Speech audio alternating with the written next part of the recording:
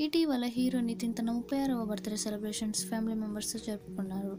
ఇప్పుడు ఆ photos social మీడియాలో వైరల్ అవుతున్నాయి. తన భార్య శారణి అండ్ ఫ్యామిలీ మెంబర్స్తో కలిసి కేక్ కట్ చేస్తూ దిగిన ఫొటోస్ నెట్టింట్లో హల్చల్ చేస్తున్నాయి.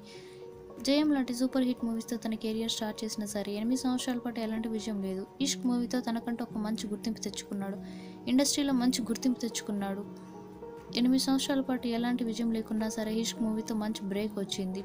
కానీ దాని తర్వాత పన్నెండు సినిమాలు వరుసగా ఫ్లాప్ అవ్వడం ఫ్యాన్స్ని చాలా అప్సెట్ చేసింది. కానీ ఇప్పుడు తను ఫ్యూచర్లో మంచి సినిమాలు తీయాలంటూ ఫ్యాన్స్ సోషల్ మీడియా వేదికగా తనకు బర్త్డే విషెస్ని తెలియజేస్తున్నారు.